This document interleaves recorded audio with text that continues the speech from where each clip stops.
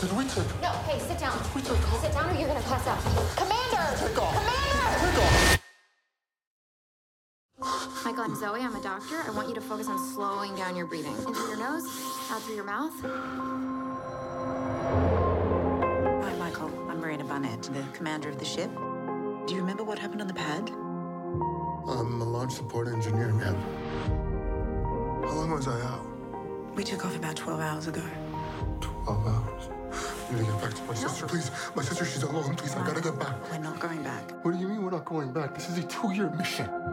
Two years is a long time to be away, but this is the opportunity of a lifetime. I can learn fast. Ready? Yeah, I'm ready. We are taking the first steps to being able to call Mars a second home. We're sorry that you missed the filet mignon, but this is the next best thing. We think it's spaghetti. I should warn you now that Zoe thinks she's the in-flight entertainment.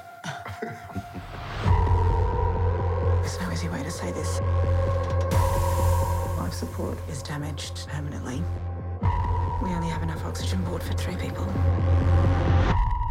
Everyone on board will suffocate before we ever make it to Mars.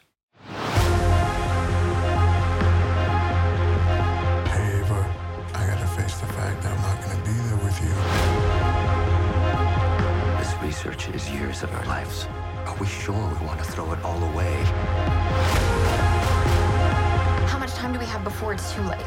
20 days. I think we should put ourselves at risk. For their sanity, they need to try this. This is hopeless. That is There's no way for all of us to survive. It's imperative that we try.